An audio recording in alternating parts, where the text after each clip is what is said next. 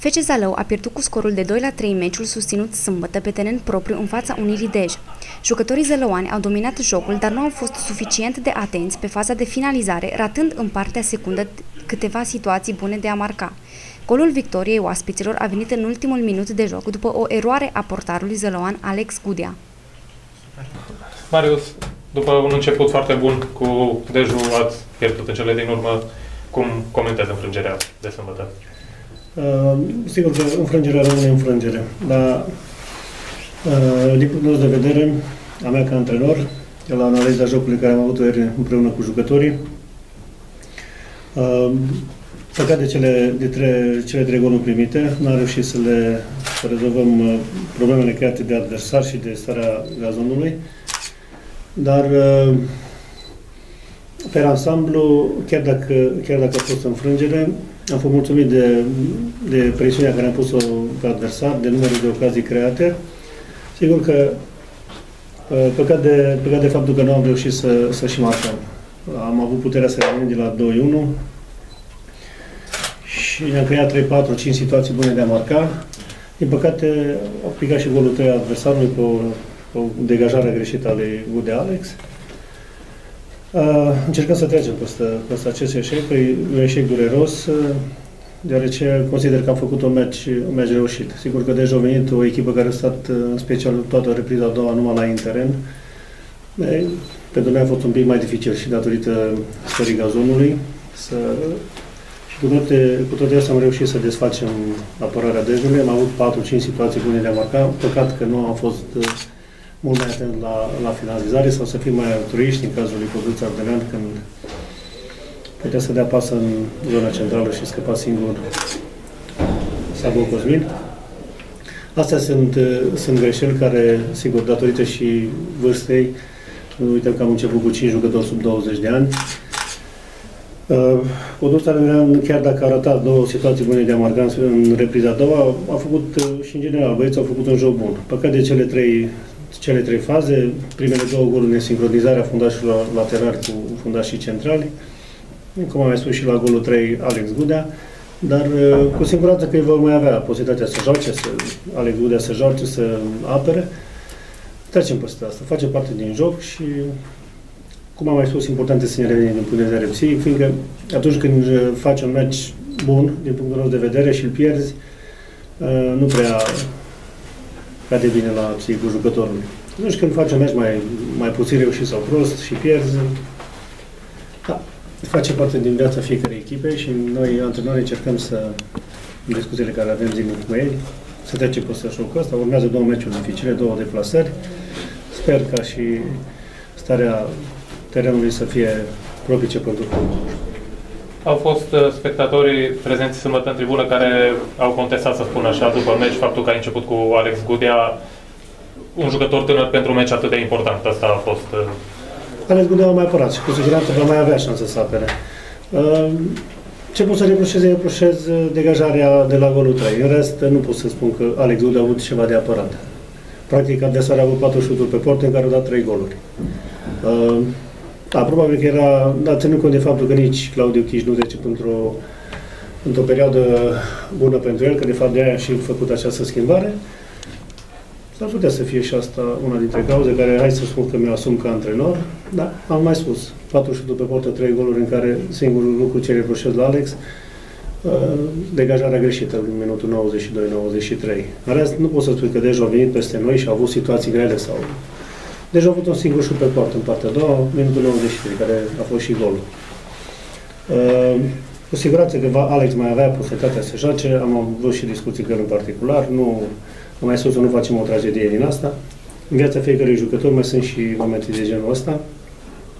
Iar faptul că l-am aruncat la 16 ani jumate în ăsta, nu, nu-mi reproșez acest fapt. Că și cu Claudiu Chiș s-a întâmplat la fel. Acum 3 ani de zile când l-am promovat la echipa mare, tot în condiții de astea apăra. Poate că era, știu eu, dacă ne uităm la greșeala făcută de el în minutul 93, putem pune și pe seama că n-a fost inspirat. Marius, te-am întrebat și la conferința săptămâna trecută. Revin, cum comentezi faptul că Federația, vezi că nici cum nu, nu lasă, să zic așa, de la ea și vă solicită, vă forțează să jucați în astfel de condiții Au amânat meciul practic o zi, dar timp în care a fost nevoiți voi, antrenori, jucători, președinte, să rezolviți terenul.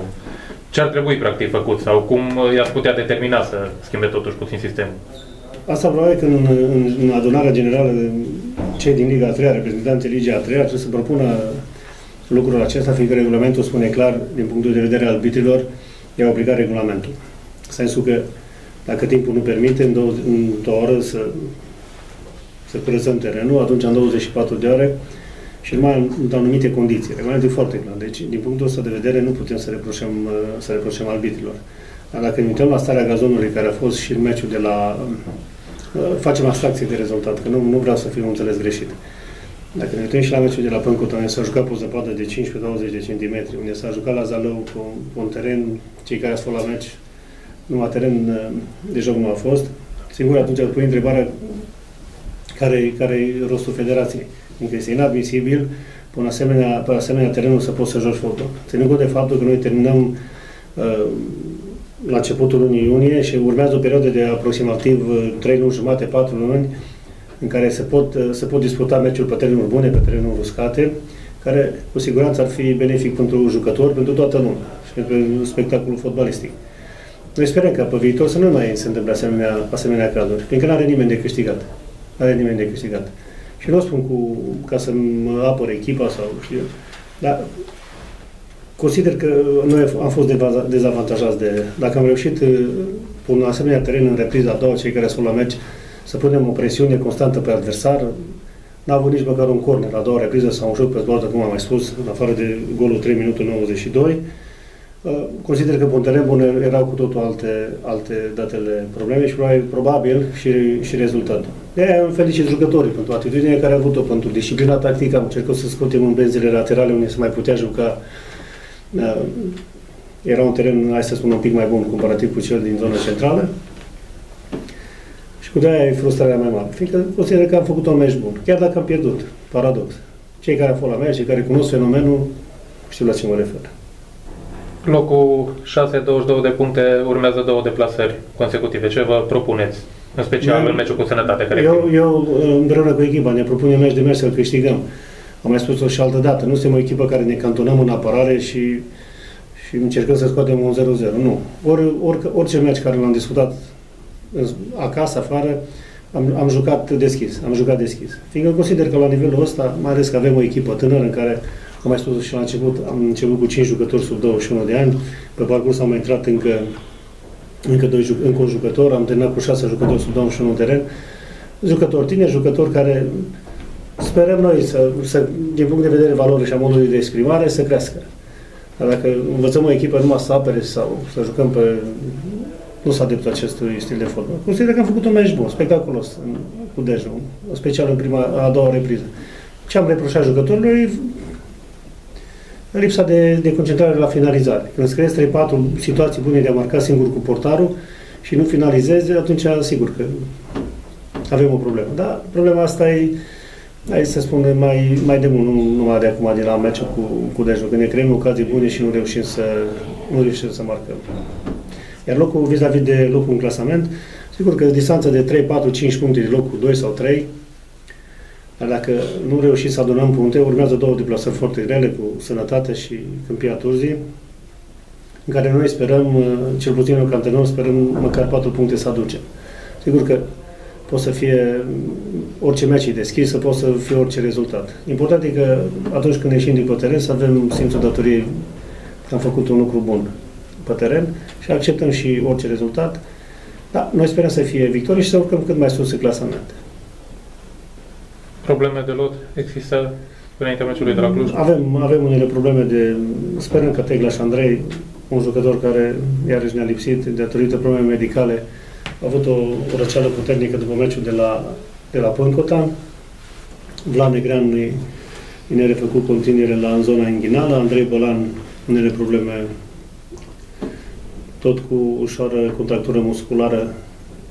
Bodi Mihai cu Asta sunt accidentări care nu... Mă gândesc că la ora meciului, peste 3-4 zile când se discută meciul, să reușim să rezolvăm aceste, aceste probleme. Revine și Claudiu Cornaș după cumul de cartonașe galbene. Din păcate și la, la meciul de, de ăsta am avut și o problemă de ordine medical. Codrus Buld a făcut o stare febrilă de, datorită, datorită o hipotermie. A și necesitat două, două ore jumate, trei ore de internare la, la Oradea, la spital cu perfuzii. După ea spuneam vis-a-vis de întrebarea care mi-ai pus-o de teren, se creează o, o sumedenie de probleme cu, cu asemenea teren și cu asemenea temperatură.